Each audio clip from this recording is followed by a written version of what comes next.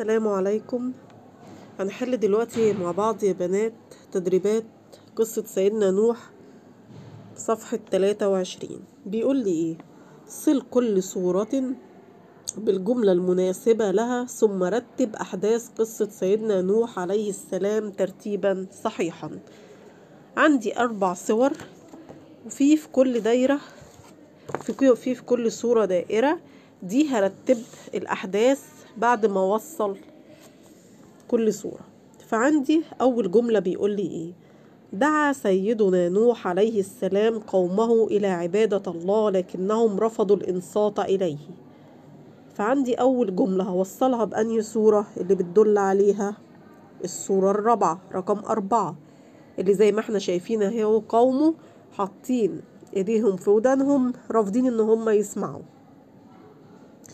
بعد كده رست سفينة سيدنا نوح عليه السلام على جبل الجودي ونزل كل من كان عليها.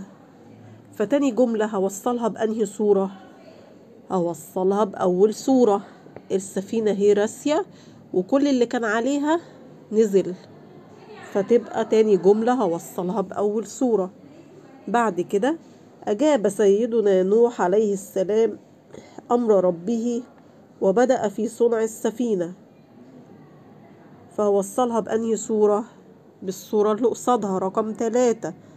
أهي سفينة لسه بتتجهز وبتتصنع. فيبقى العبارة رقم تلاتة هوصلها بالصورة اللي قصادها رقم تلاتة. بعد كده انهمر الماء وصارت السفينة فيه لينجو كل من كان عليها. هوصلها بأنهي صورة بتاني صورة اللي الماء هو عمال بينزل من السماء بينهمر والسفينة ماشية في المية. فيبقى العبارة الرابعة هوصلها بتاني صورة.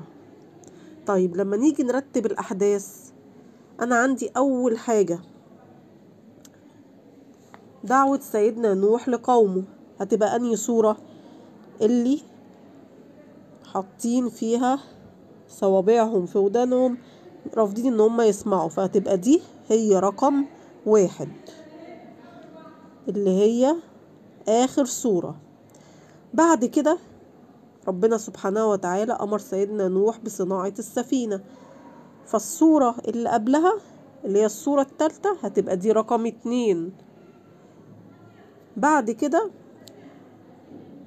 انهمرت الأمطار والسفينة مشيت في المطر. هتبقى هي رقم تلاتة. وبعد كده كل اللي كان على السفينة نزل من عليها هيبدأوا حياة جديدة فهتبقى رقم أربعة. فيبقى عندي الترتيب هنا من أول صورة تحت خالص واحد اللي قبلها اتنين اللي قبلها تلاتة اللي قبلها أربعة. بعد كده نجيب الصفحة اللي وراها صفحة رقم أربعة وعشرين بيقول لي إيه؟ اختر الكلمة الصحيحة وأكمل بها الجمل الآتية. ومديني الكلمات إيه؟ الله غرق تسعمية وخمسين الأصنام نجا السفينة.